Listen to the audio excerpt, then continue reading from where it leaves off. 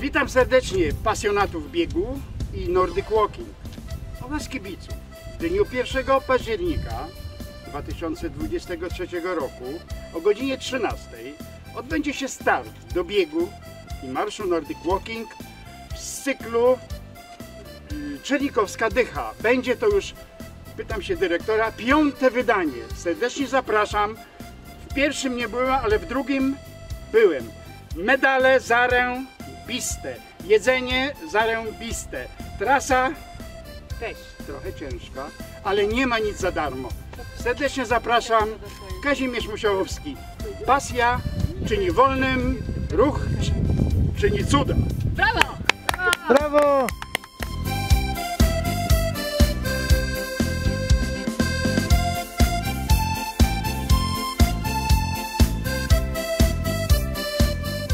Część tego zespołu na otwarciu uliczki tu grał. W tych ciemnych okularach. Waldek Kuleczka, Big Beat, Papa Dance. Y, Śpiewa, gr- zespół zakładał. Proszę Ciebie, tu masz całą, całą czwórkę Beatlesów.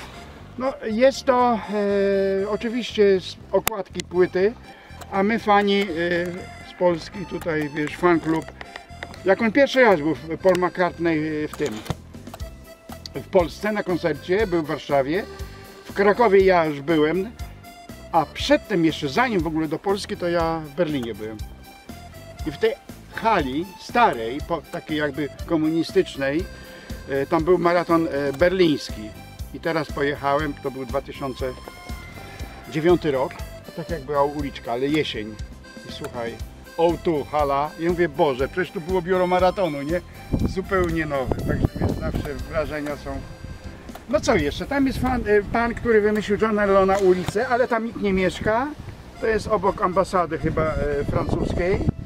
Nie wiem, czy jeszcze jest. Też jeszcze skwer jest Paula McCartneya, też tylko, żeby był skwer. Nikt Ale tam- tak, ja ci wysłałem y, y, też. Ta, Ale? Przysłałeś mi, dużo mi Kurde, ale przysyłał. skąd ja to wysłałem te bitleci? Ale to gdzieś za granicą chyba było. Tak, y, sz- Słowenii. Słowacja. Słowacja. Słowacja, E, tak. W Koszycach chyba. Tak. Chyba w Koszycach. No i tu są fani właśnie związani, związani z Beatlesami.